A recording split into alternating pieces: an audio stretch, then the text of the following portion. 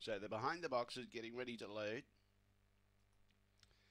So he's a, a, different greyhound now to what he was when he raced here 12 starts ago. Fly for fun. He's yet to win from three goes.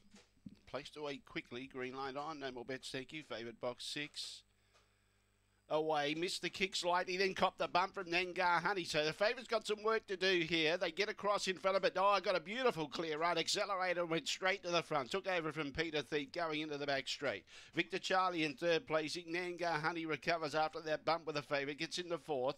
King Tarka behind those. In zipping Simon. Back behind those Johnny Darker. Not stretching out at all was Night Sentinel. But the favourite Fly for Fun going well. Peter Thief's making a little bit of ground off the favourite slightly over the concluding stages but Fly for Fun wins by two and a half lengths. Second, Peter Thief. Third was King Tarka, just in front of Zipping Simon and Nangar Honey.